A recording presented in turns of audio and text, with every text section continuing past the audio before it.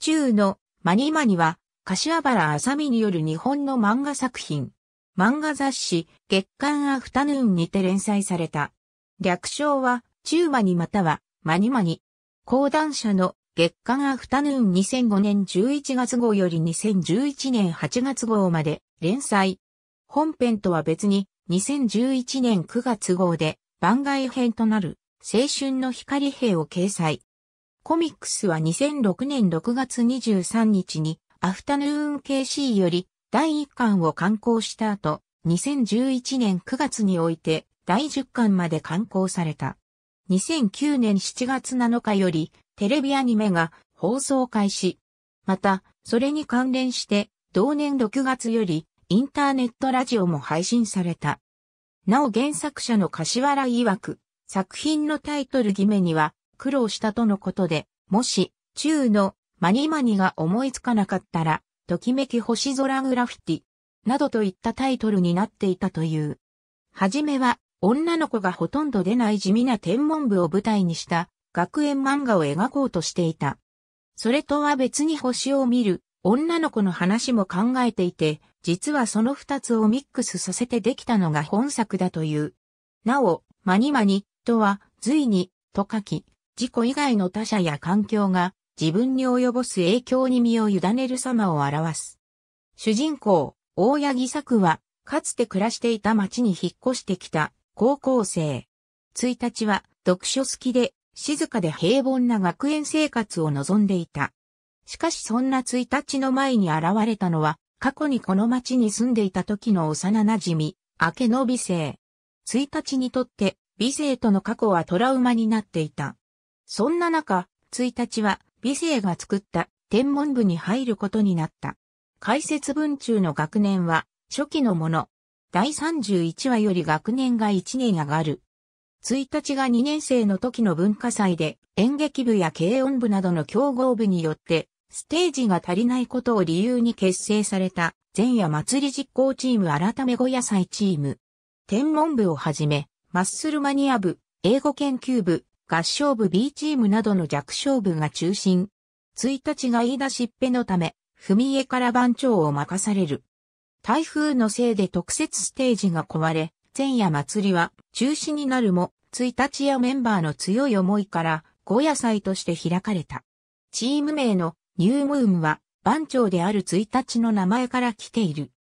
県内の天文部及び天文に関する活動を行っている部活動をつなぐネットワーク。略して、光天ネット。定期的に合同観測などを行っている。野木城高校県内でも名門校で、天文機材も豊富であり、この学校の天文部が光天ネットの中心となって活動している。最寄り駅は西小針。なお、先生を除くの議場高校メンバーの名の由来は、いずれも大見鉄道に由来している。貢献女子、萌えを基準に星を見、語ることを伝統とする女子校。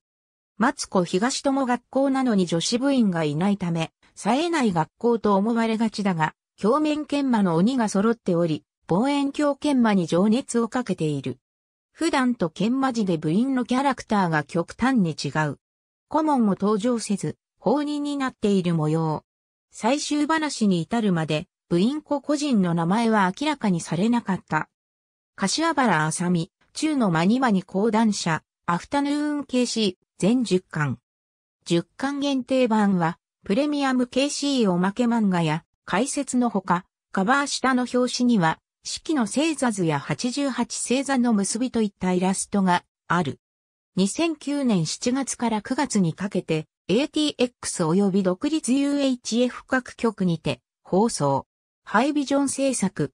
なお、テレビ埼玉を除く各局の放送開始日は7月7日に統一された。アニメ化の範囲は原作第1話から31話前半まで。基本的に原作通りだが一部改変がある。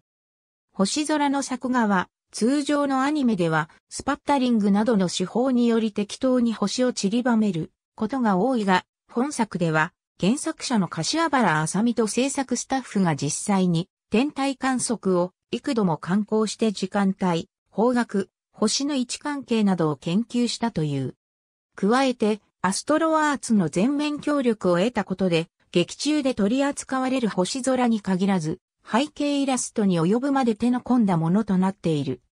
なおアストロアーツから発行されている月刊星ナビは、作中で実在の天文雑誌として登場するほか、紙面上で中のマニマニの紹介が掲載されている。本作のオープニング及びエンディングで表示されるクレジットでは、各担当声優あるいはスタッフの名前の後に、それぞれの星座マークが付けられている。また、銀玉やスクールランブルといった高松新次監督作品で用いられている提供画面での柱文の挿入がある。